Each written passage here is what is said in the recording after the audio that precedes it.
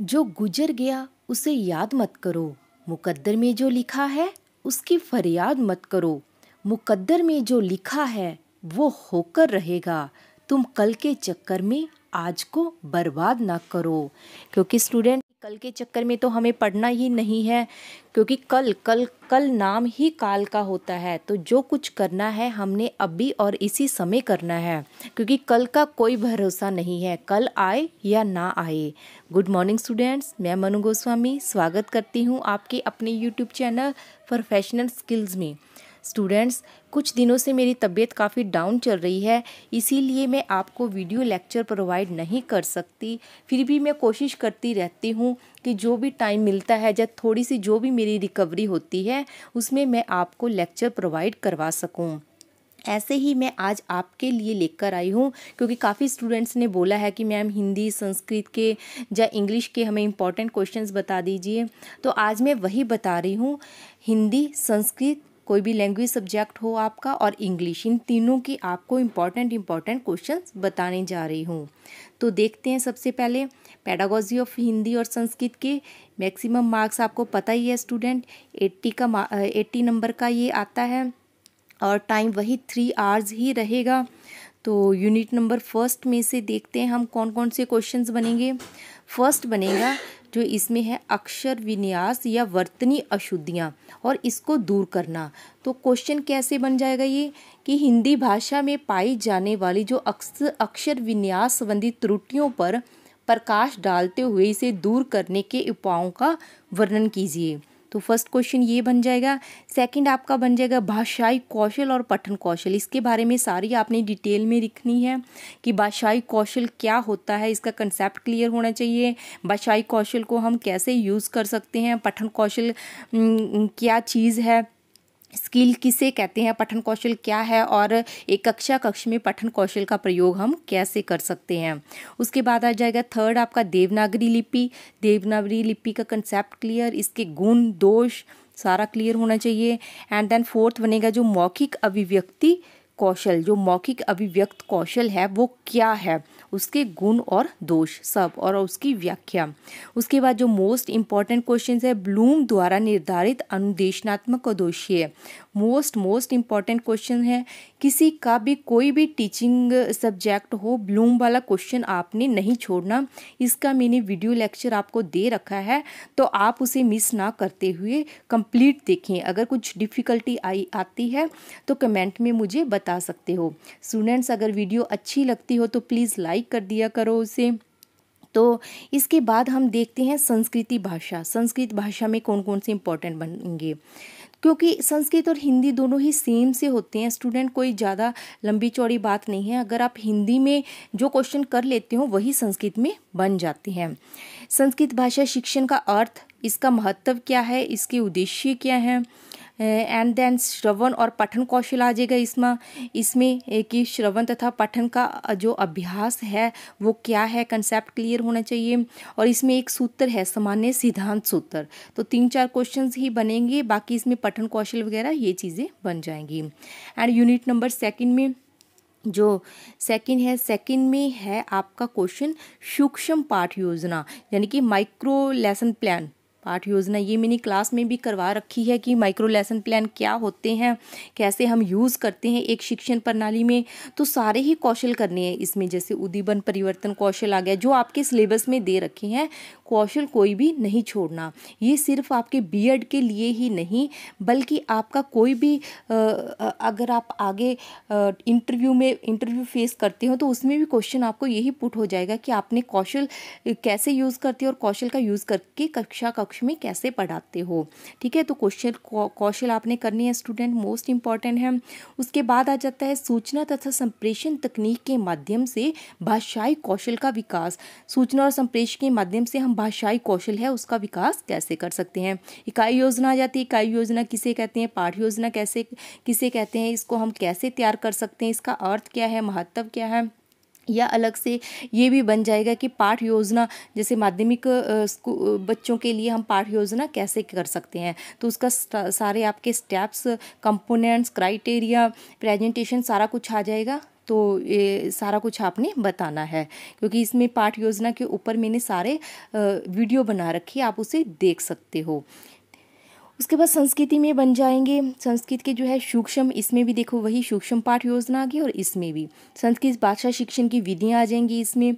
संस्कृत पाठ्य पुस्तक का निर्माण और प्रत्यक्ष विधि, कैसे हम संस्कृत पाठ्य पुस्तक का निर्माण कर सकते हैं और प्रत्यक्ष विधि क्या है, इसके गुण क्या है, इसके दोष क्या हैं, कैसे कक्षा कक्ष में प्रत्यक्ष विधि के द्वारा बच्चों को पढ़ा सकते हैं।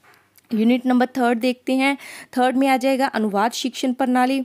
अनुवाद शिक्षण प्रणाली क्या है? इसका अर्थ क्या है? विशेषताएँ क्या है? आ, उसके बाद व्याकरण आ जाएगी इसकी परिभाषा गुण दोष इसके उद्देश्य और इसके स्टेप। औपचारिक औपचारिक शिक्षा क्या है? अनौपचारिक क्या है? इन दोनों में क्या अंतर है? व्याकरण शिक्षण के अंतर के द्वारा हम औपचारिक और अनौपचारिक शिक्षा को कैसे ले सकते हैं? रचना शिक्षा भी रचना शिक्षण क्या है? इसके टाइप्स कौन कौन से हैं, इसकी विधियाँ कौन कौन सी हैं और इसके प्रयोग, इसके उद्देश्य क्या है? उसके बाद संस्कृत में देखते हैं संस्कृत में गद शिक्षण आ जाएगा, आपका पद शिक्षण आ जाएगा, व्याकरण शिक्षण और अनुवाद शिक्षण। इसकी प्रक्रिया, इसके उद्देश्य और इसके स्टेप्स ये सारे आपने करने हैं, क्योंकि गद पद के बारे में तो आपको पता ही होगा कि ये क्या है, संस्कृत में भी और हिंदी में। यूनिट नंबर फोर्थ में देखते हैं, इसमें आ जाएगा आपका पैडागोजिकल एनालिसिस यानी कि शिक्षा शास्त्रीय विश्लेषण क्या है एक क्वेश्चन ये बन जाएगा कि एक गद या पद का माध्यमिक कक्षा के रूप में हम शिक्षा शास्त्रीय विश्लेषण क्वेश्चन कैसे कर सकते हैं? तो सबसे पहले आप इसको, इसका मीनिंग कंसेप्ट क्लियर होना चाहिए। देन उसके बाद उसके स्टेप्स के आधार पर हम इनका विश्लेषण कैसे कर सकते हैं? मूल्यांकन विधि मोस्ट इंपॉर्टेंट विधियाँ हैं ये, शिक्षा शास्त्री और इवेल्युएशन इनके दोनों के मैंने लेक्चर दे रखे हैं। अगर किसी ने नहीं देखा तो वीडियो देख सकते हो। पाठ्य पुस्तक आ जाएँगी टेक्स्ट बुक्स इसकी विशेषताएँ क्या हैं? और आठवीं कक्षा के बच्चों की पाठ्य पुस्तक कैसी होनी चाहिए, कैसे इसकी समीक्षा कर सकते हैं? हिंदी अध्यापक कैसा होना चाहिए, कैसे पढ़ाता है, उसके क्या गुण होने चाहिए, उसमें क्या कौन कौन से उसके कर्तव्य होने चाहिए? और वर्तमान स्थिति में जो है अध्यापकों की वर्तमान स्थिति कैसी है, कैसे हिंदी अध्यापक पढ़ाते हैं या क्या उनमें सुधार करने की ज़रूरत है। और संस्कृति में वही बन जाएगा, देखो, मूल्यांकन आ जाएगा, शिक्षण संबंधी शुद्धियाँ क्या है, गृह कार्य नियोजन क्या है और संशोधन की प्रक्रिया क्या है। ठीक है? तो चारों यूनिट में से जो जो इम्पोर्टेंट क्वेश्चन हैं, वो मैंने सब आपको बता दिए। तो आपके लिए काफ़ी ये हेल्पफुल इंग्लिश है, उसमें कौन कौन से इंपॉर्टेंट क्वेश्चन बनेंगे। फ़र्स्ट यूनिट में आपका बन जाएगा वट इज़ लैंग्वेज लैंग्वेज का मीनिंग क्लियर होना चाहिए, आपको कंसेप्ट क्लियर होना चाहिए।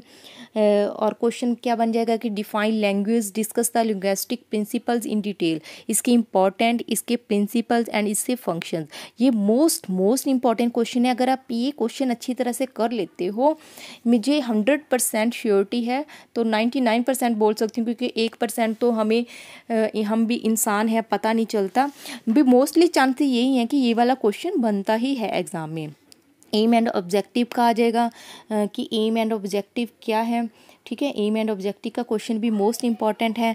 सेकेंडरी लेवल पर कौन कौन से एम होने चाहिए? Right the aim of secondary level and then third जो क्वेश्चन बनेगा अप्रोच से रिलेटेड बन जाएगा, कि what do you what do you mean by understanding by approach discuss the philosophical social and psychological basis of approaches to language acquisition तो क्या क्या जो हैं अप्रोचेस क्या हैं फिलोसफिकल और सोशल साइकोलॉजिकल बेस पर हम अप्रोच को कैसे यूज़ कर सकते हैं एंड देन उसके बाद आ जाएगा इंडक्टिव और डिडक्टिव अप्रोच क्या है? तो अप्रोच का क्वेश्चन बन जाएगा एक एक एम का बन जाएगा एंड देन एक लैंग्वेज का। अगर तीनों क्वेश्चन कवर अप कर लेते हो तो आपके सिक्सटीन मार्क्स कहीं भी नहीं गए। सिक्सटीन मार्क्स में भी जितना भी आप अच्छे तरह से इसको प्रिपेयर कर सकते हो तो अच्छे मार्क्स ले सकते हो। उसके बाद यूनिट नंबर सेकंड सेकंड में बन जाएगा प्रोज फ़र्स्ट क्वेश्चन जो आपके बनेगा प्रोज से रिलेटेड बन जाएगा प्रोज आ जाएगा इसमें प्रोज के ऑब्जेक्टिव आ जाएँगे एंड uh, ऑब्जेक्टिव के बाद इसके स्टेप्स आ जाएँगे। ओके okay, जैसे define structural structural approach to teaching English how will you do the selection and gradation of structures तो ऐसे क्वेश्चंस बन जाते हैं यूनिवर्सिटी में। एंड देन सेकेंड है method what is method define approach and differences which is between method and approach constructive approach what is constructive approach या how constructive approach help in better language learning ये question यहाँ से बन जाएगा। And then third आ जाएगा इसमें structural approach and bilingual method bilingual method most important है। ये फोर नंबर में भी ये वाला क्वेश्चन आ जाता है। को को कुरिकुलम एक्टिविटीज़ आ जाएगी। इसमें इम्पॉर्टेंस आ जाएगी इनकी। जैसे what do you mean by co curricular activities discuss the importance of discussion debates and workshops in learning English okay तो ये डिबेट्स एंड वर्कशॉप आ जाएगा लर्निंग इंग्लिश में एंड देन बन जाएगा इसमें poetry what is poetry define its objectives and its subject steps micro and mega lesson plan आ जाएगा what is micro teaching what is mega teaching define micro and mega lesson plan या कोई भी एक आपको lesson plan मिलेगा उस पर आपने मेगा टीचिंग uh, के थ्रू जो स्टेप्स बताकर उसमें आपने एक लेसन प्लान तैयार करना है। Okay and then third third unit में से देखते हैं हम। थर्ड यूनिट में से प्रोनाउंसिएशन का बन जाएगा। मीनिंग प्रोनाउंसिएशन का मीनिंग कंसेप्ट इसके टाइप्स इसके uses and features and second बन जाएगा इसमें इंग्लिश साउंड्स क्या है, इसकी इंपॉर्टेंस क्या है developing listening and speaking skills हम जो है लिसनिंग और स्पीकिंग स्किल्स को कैसे डेवलप कर सकते हैं? राइटिंग स्किल क्या है? Methods of teaching learning teaching learning के methods importance of writing skills and its importance and then reading skill what is reading skill role of teacher in developing skill तो एक जो teacher है, क्या role play कर सकता है developing skill में? एंड देन फोर्थ यूनिट आ जाएगा. एंड देन फोर्थ आ जाएगा. Okay okay?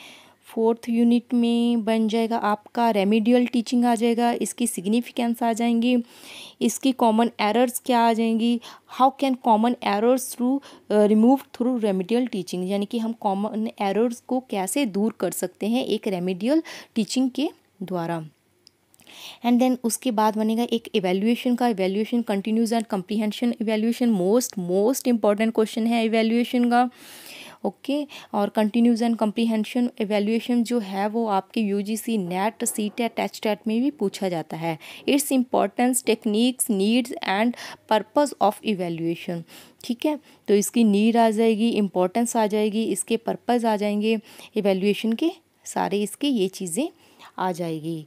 ओके तो फोर्थ यूनिट में आपका एक तो बन जाएगा what is the meaning of remedial teaching discuss the significance of remedial teaching and then second बन जाएगा जो आपका इवेल्युएशन से related what do you mean by evaluation explain various techniques of evaluation explain its importance need and purpose of evaluation okay student तो ये था overall जो हमारा आज का लेक्चर इंग्लिश के. और हिंदी और संस्कृत के जो मैंने मोस्ट इंपॉर्टेंट इंपॉर्टेंट क्वेश्चंस हैं, वो आपको बता दिए हैं। तो आई होप आज का लेक्चर जो है ऑडियो लेक्चर आपके लिए काफ़ी हेल्पफुल रहेगा। जैसे ही मेरी तबीयत ठीक होती है स्टूडेंट्स तो मैं आपको जो है सिलेबस जो है कंप्लीट करवाने की पूरी कोशिश करती रहती हूँ और अपनी तरफ़ से हंड्रेड परसेंट देने की पूरी कोशिश करती हूँ। अगर वीडियो अच्छी लगी हो तो स्टूडेंट्स प्लीज़ इसको लाइक कर दिया करो और कमेंट करके मुझे बता देना आपको वीडियो लेक्चर से हेल्प मिली या नहीं मिली। अगर कोई भी बच्चा कुछ और टॉपिक करना चाहता है या किसी का भी कोई भी सुजेशंस है तो वो भी मुझे कमेंट करके बता सकता है। अगर अभी तक भी आपने मेरे चैनल को सब्सक्राइब नहीं कर रखा तो उसको सब्सक्राइब कर देना, बेल आइकन के लिए नोटिफिकेशन बटन को ऑन कर देना और वीडियो को लाइक कर देना और कोई सुजेशंस हो तो कमेंट में मुझे बता देना। Thanks for watching